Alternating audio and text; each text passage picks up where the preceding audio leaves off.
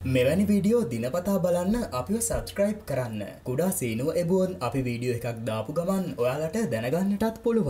සැමියා නිවසේ නොසිටි අවස්ථාවේ දෙදරුමවක් සිටි නිවසට රිංගූ අනියම් සැමියාට පාරදී තුවාල සිදු කිරීම සම්බන්ධයෙන් නීත්‍යානුකූල සැමියා පෙරේදා දින අත්අඩංගුවට ගත් බව යක්කල මුල්ල පොලිසිය පවසනවා. අත්අඩංගුවට ගත් සැමියා හා නීත්‍යානුකූල සැමියා යක්කල මුල්ල බඩක් කැටිය ප්‍රදේශයේ පදිංචිකරුවන්. දෙදරුමවගේ වයස අවුරුදු 40ක්. සැමියා සති පොළට ගොස් සිටියේදී මෙකී කාන්තාවගේ අනියම් සැමියා නිවසට පැමිණ ඇති අතර එම අවස්ථාවේ මෙකී කාන්තාවගේ දියණියද නිවසේ සිට ඇති අතර ඒ සමග ඇයගේ නීත්‍යානුකූල සැමියා නිවසට පැමිණ ඇති බව පොලිසිය පවසනවා. පසු අනියම් සැමියාසේ යතුරු පැදිය දමා දිව ගොස් ඇති අතර නීත්‍යානුකූල සැමියා මොහු පසුපස එලවාගෙන ගොස් පහර දී තුවාල සිදු කොට ඇති බව සඳහන්. දෙදරු මවට ලිංගික අතවර කිරීමට තැත් කිරීම සම්බන්ධයෙන් අනියම් සැමියා හා අනියම් සැමියාට පහර දීම සම්බන්ධයෙන් නීත්‍යානුකූල සැමියා අත්අඩංගුවට ගත් බව පොලිසිය සඳහන් කළා. අත්අඩංගුවට පත් මෙම් පුද්ගලයන් දෙදෙනා වයස අවුරුදු 45 හා 46 යන වියේ පසුවන අතර මොවුන් දෙදෙනා අධිකරණය වෙත ඉදිරිපත් කිරීමට නියමිතව තිබෙනවා. මේ උපුටා ගැනීම දිවයින පුවත්පතෙන් රචනය